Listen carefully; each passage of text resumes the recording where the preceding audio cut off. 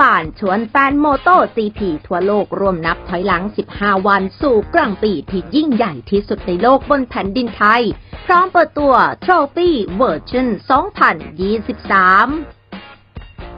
กระทรวงการท่องเที่ยวและกีฬารวมกับการกีฬาแห่งประเทศไทยหน่วยงานภาครัฐเอกชนแถลงนับถอยหลังและเปิดตัว Trophy OR Thailand กลางปี 2023 หรือถ้วย MotoGP สนามประเทศไทย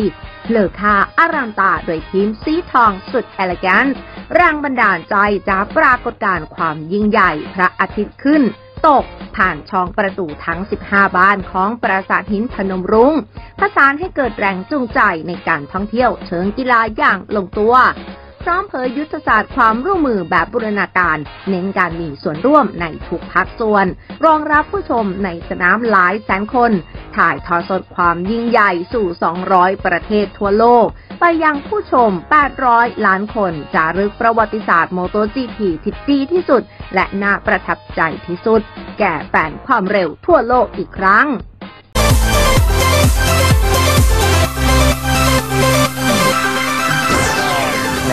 ผลดีนะครับผมมองในเรื่องของ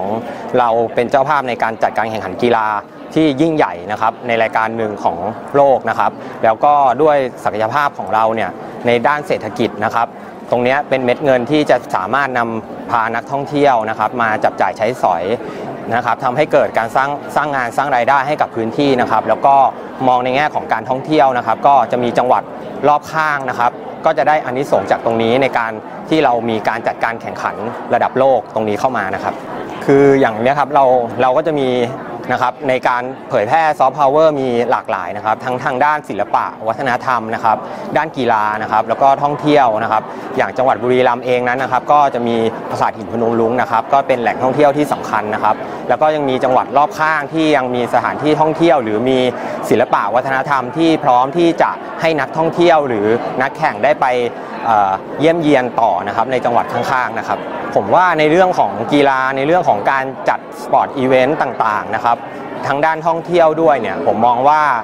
รัฐบาลของเราเนี่ยคาดหวังจากตรงนี้นะครับ เพื่อที่จะได้อย่างที่ผมเรียนนะครับ ว่าเราจะได้นำเม็ดเงินนะครับ มากระตุ้นเศรษฐกิจนะครับ มาในด้านของการท่องเที่ยวนะครับ แล้วเราก็คิดว่านะครับการจัดการแข่งขันในครั้งนี้เราก็หวังว่านะครับนักกีฬา ของประเทศไทยนะครับจะประสบความสำเร็จในการแข่งขันในครั้งนี้ครับคือผมมองนะครับว่าอันนี้คือโมเดลหนึ่งที่สำคัญนะครับคือจังหวัดบุรีรัมย์นะครับเพราะว่าทางจังหวัดบุรีรัมย์เนี่ยเราได้เห็นนะครับตามหน้าสื่อในที่ผ่านมาก็คือเป็นเหมือนเขาเรียกว่าเมืองกีฬาเลยนะครับเมืองสำหรับจัด sport event ต่างๆนะครับไม่ว่าจะเป็นมีการแข่งขันทัวร์นาเมนต์ของกีฬาฟุตบอลนะครับมีเรื่องของการวิ่งนะครับไหนจะเป็นของ MotoGP ที่เรากำลังจะจัด กันในปลายเดือนนี้นะครับ เราก็มองว่าอันนี้คือ sport tourism ซึ่งในหลาย ๆ จังหวัดนะครับ ก็สามารถที่จะนำไปเป็นโมเดลในการพัฒนา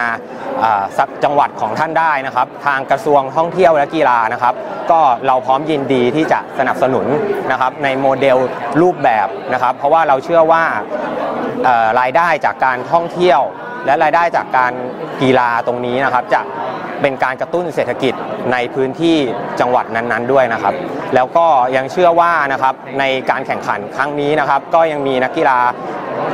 ระดับโลกของคนไทยของเรานะครับ ผมเชื่อว่าจะเป็นแรงบันดาลใจให้กับน้องๆนะครับ นักกีฬาหลายท่านนะครับ ที่สนใจทางด้านการแข่งขันความเร็วหรือสนใจทางด้านนักกีฬาอยู่นะครับ ก็ผมเชื่อว่านะครับการแข่งขันในครั้งนี้สนุกแน่นอนครับ